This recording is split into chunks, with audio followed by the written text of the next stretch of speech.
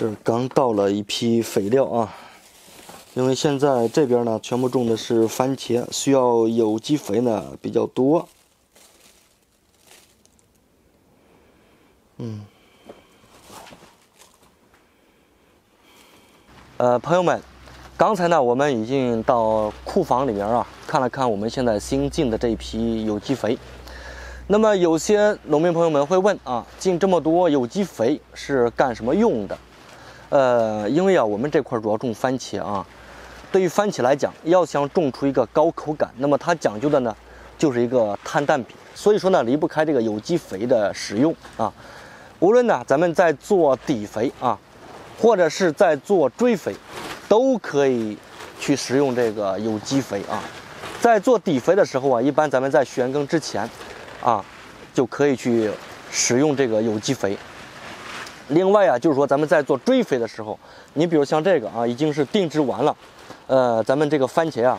在做追肥的时候呢，顺着这个沟呢，稍微是挖一个深度，一般呢是七公分左右啊。然后呢，把这个有机肥呢直接撒到里面，然后呢，我们开始进行浇水就可以了。另外呢，因为刚才咱们看到了啊，这个有机肥啊，主要里面呢掺的有这个微生物菌剂，啊，它主要呢是来调理那么土壤的一个团粒结构啊，也就是调理土壤的一个活性啊。呃，另外一部分呢，就是讲究啊，这个番茄，因为每年呢，我们就是在种植的时候呢，都会去大量的使用一些化肥，比如说大量的这个氮磷钾。啊，所以说呢，也会造成这个土壤板结呀，或者说是番茄的口感上不去啊。所以说呢，我们在使用这个有机肥做底肥，包括做追肥的时候啊，呃，都应该去配合这个大量元素肥。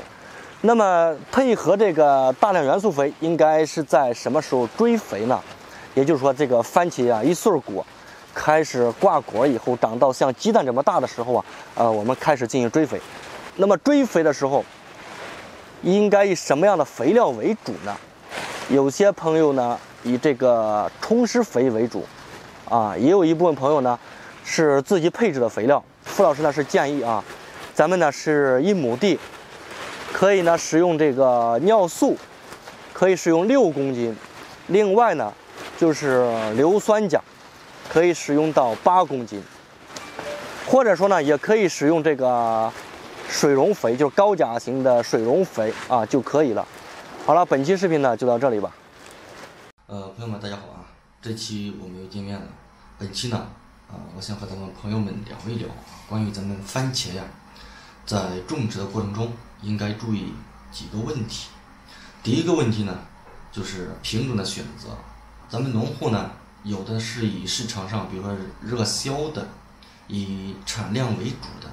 这样的一些品种选择，那么咱们在栽植的时候啊，可以适当性的啊进行一下稀植，因为这些产量为主的这些品种呢，普遍茎杆呢比较粗壮啊。如果说我们以一些高口感番茄为主的啊，那么建议呢，我们农户啊在种植的时候，呃，可以适当性的啊进行密植，因为这类品种茎杆呢相对比较纤细啊。那么第二个方面。就是关于地膜的一个选择上了啊，咱们农户啊，可能在种植的时候对地膜这块呢不太讲究。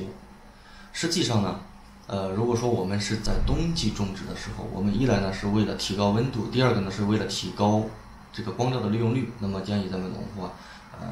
在冬春季的时候，建议呢可以多去采用啊这个两面儿啊，就是上面呢是银色，底部呢是黑色。黑色的朝下，迎面的朝上，这样子呢，在冬季更有利于阳光的反射啊，以便咱们番茄能够吸收更充足的阳光。还有一点呢，呃，就是关于这个肥料的选择，大家知道啊，就是说番茄呢，在整个生育期，实际上对钙啊以及硼的要求呢是特别高的啊。那么我们呢？呃，在使用底肥的时候啊，除了会使用有机有机肥料啊，包括一些复合平衡肥料等等之外呢，我们还会配合一些钙肥以及硼砂啊。好了，本期视频呢就到这里吧。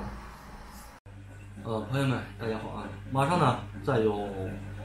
半个多月到一个月啊，对于一些春玉米的种植呢就要开始了。那么不管我们去种植一些春玉米，或者是是麦茬这个玉米，可以说呢，除草剂是必不可少的。这个玉米除草剂啊，到底呢，我们应该是在苗前去用呢，还是说是苗后除草剂效果会更好一点？我们和一些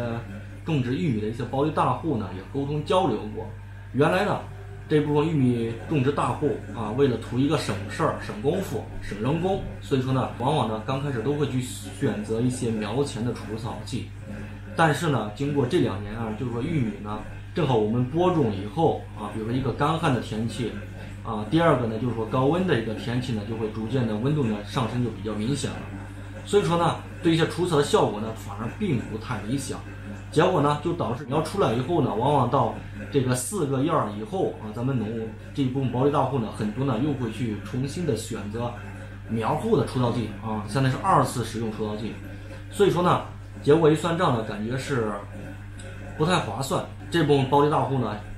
现在呢已经普遍的倾向于就是直接苗后去使用除草剂了。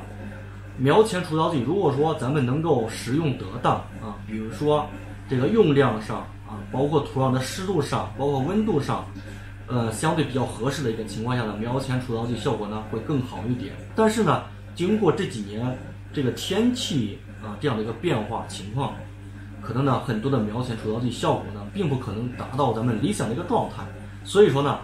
嗯，就要求呢咱们农户呢可能会选用苗后除草剂会更多一点啊。所以说呢，如果说是咱们种地大户，建议咱们农户呢。啊，就不要再选择一个苗前除草剂了啊，可以直接性的，就是玉米呢出苗以后四个叶儿啊，开始到五个叶儿，就开始去喷洒苗后除草剂啊。我认为这样子呢，做到了是既省功夫啊，而且呢又省钱又省力。如果说呢，对于一部分散户啊，家里面有个几亩地来讲啊，为了省功夫呢，可以采用苗前的一个除草剂，这样子除草效果呢相对会更好一点啊。假如说苗后呢，再次的发现有这个杂草出现的一个情况下呢，可以同时呢再结合苗后的一个除草剂一块用就行了。朋友们，大家好啊，本期呢我们要见面了，这期啊，我想和咱们朋友们呢去聊一聊啊，关于咱们农户。在购买尿素的时候啊，所需要去注意的一些事项，怎么样去挑选到比较适合咱们自己去用的这种尿素？现在在市场上常见到的尿素啊，是这种白色颗粒状的这种尿素，是最为常见的。那么问题来了，有些农户呢